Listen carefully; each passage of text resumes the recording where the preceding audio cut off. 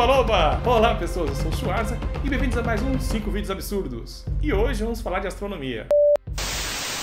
E no vídeo de hoje vamos falar das últimas novidades de Júpiter, eclipses, planetas se beijando no céu e cometas. Nesse final de semana, a Agência Espacial Americana divulgou novas informações vindas da sonda Juno, que está lá orbitando Júpiter.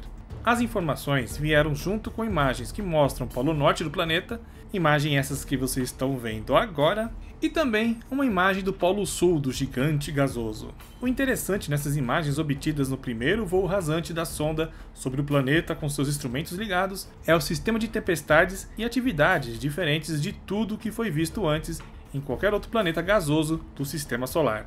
Existem muitas tempestades ocorrendo por lá.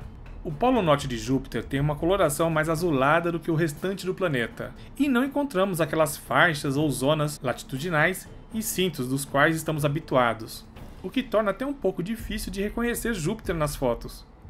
Parece até outro planeta.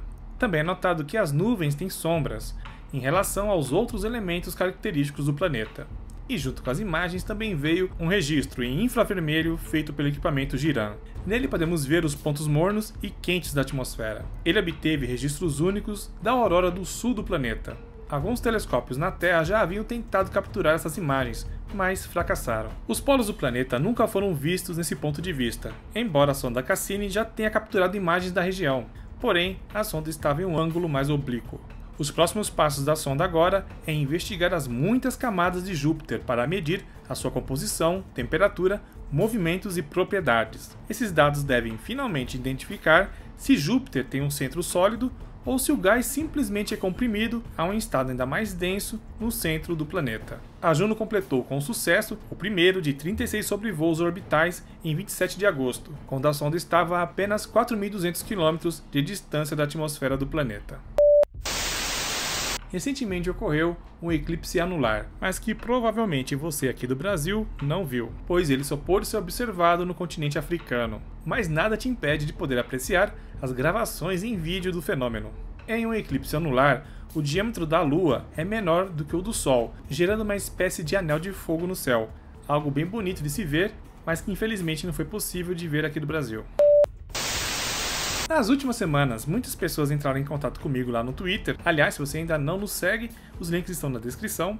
Enfim, me perguntando sobre duas estrelas que estavam bem próximas e brilhantes no céu. E respondendo a vocês, aquelas estrelas na verdade são planetas. É a conjunção entre os planetas Júpiter e Vênus. Eles ficaram tão próximos um do outro que a mídia chamou o fenômeno de beijo entre os planetas. Mas, obviamente, os planetas não ficaram perto um do outro de verdade, já que eles estão separados por bilhões de quilômetros.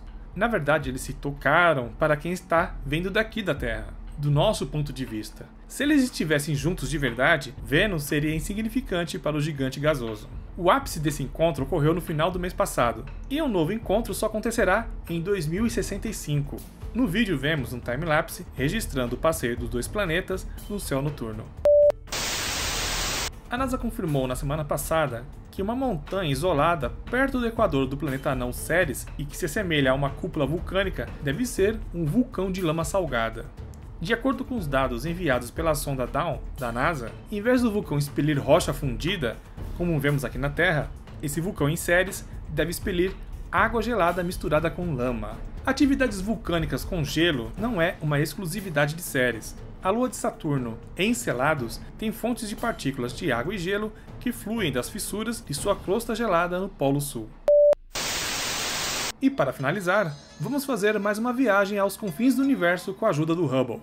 Desta vez, o destino é o cometa 17P Holmes. Um cometa bem misterioso, aliás, pois em 2007 ele sofreu uma explosão que fez o seu tamanho ultrapassar o tamanho do nosso Sol, o que permitiu que ele fosse observado facilmente daqui da Terra. Espera aí que eu vou explicar.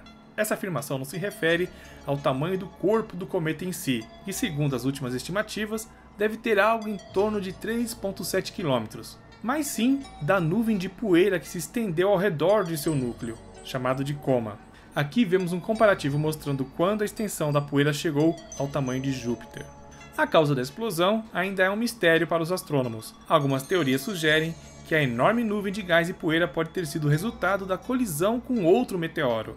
ou, mais provavelmente, uma acumulação de gás em seu núcleo, e que acabou sendo expelido para sua superfície.